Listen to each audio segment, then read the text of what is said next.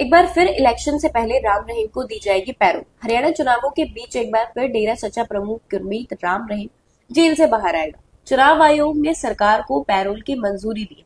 आयोग की तरफ़ से ये कहा गया है कि आदर्श आचार संहिता के नियमों को देखते हुए डेरा सच्चा प्रमुख को पैरोल दी जा सकती है।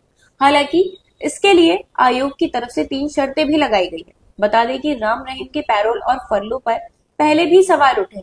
वहीं हरियाणा विधानसभा चुनाव की वोटिंग से पहले एक बार फिर राम रहीम बाहर आएगा चुनाव आयोग के सूत्रों का कहना है कि हरियाणा सरकार को भेजे गए लेटर में तीन शर्तों का उल्लेख किया गया। पहली शर्त यह है कि राम रहीम जेल से बाहर आने के बाद हरियाणा में विज़िट नहीं करे दूसरी शर्त ये रखी गई है कि चुनाव के दौरान कोई भी पॉलिटिकल एक्टिविटी नहीं करे इसके साथ ही वो सोशल मीडिया से भी कोई चुनावी एक्टिविटी नहीं करेगा।